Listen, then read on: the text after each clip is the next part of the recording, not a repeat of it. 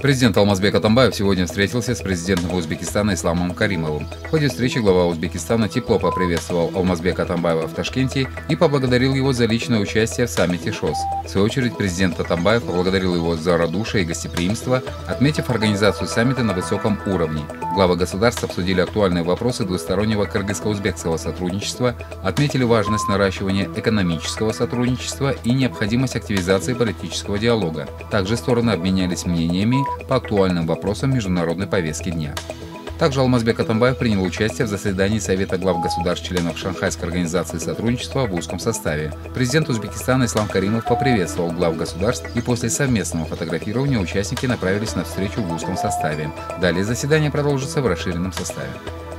Премьер-министр Соромбай Джинбеков в рамках рабочей поездки в Баткенскую область принял участие в церемонии открытия участка Коптала-Пульгон автомобильной дороги Ош-Баткен-Исфана. Глава правительства отметил, что строительству дорог руководство страны уделяет особое внимание. Он напомнил, что на сегодня завершены работы по реабилитации некоторых участков автодорог Бишкек-Ош, Бишкек-Георгиевка, Сарыташ-Харамык, Ош-Сарыташ-Эркиштам. Завершилось строительство автодороги Бишкек-Нарын-Туругард. Активно ведется работа по строительству дорог Ош-Баткен-Исфана и Тарас-Талас-Сусамыр. Самыр. В 2014 году началась работа по строительству альтернативной дороги Юг-Север. Премьер-министр выразил благодарность партнерам, международным донорам, которые приняли участие в реализации данного проекта.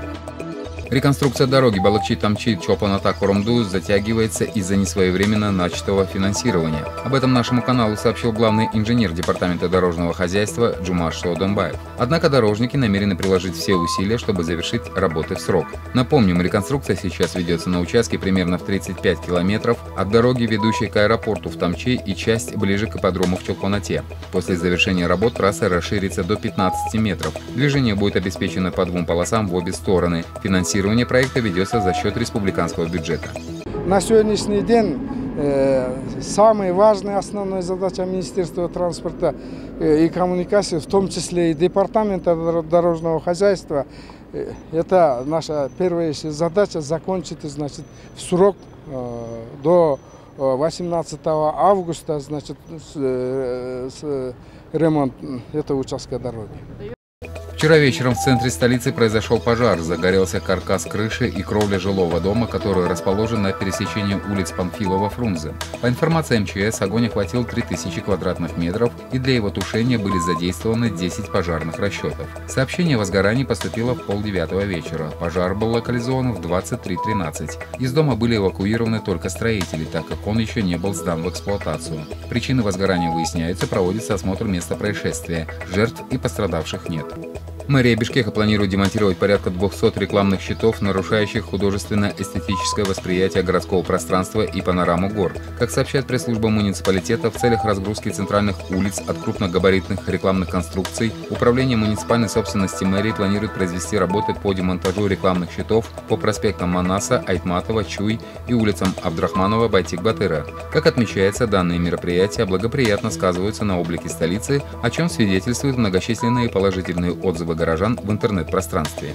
Мэрия просит владельцев рекламных счетов отнестись с пониманием к проводимым работам и помочь собственным участием привести в порядок улицы города.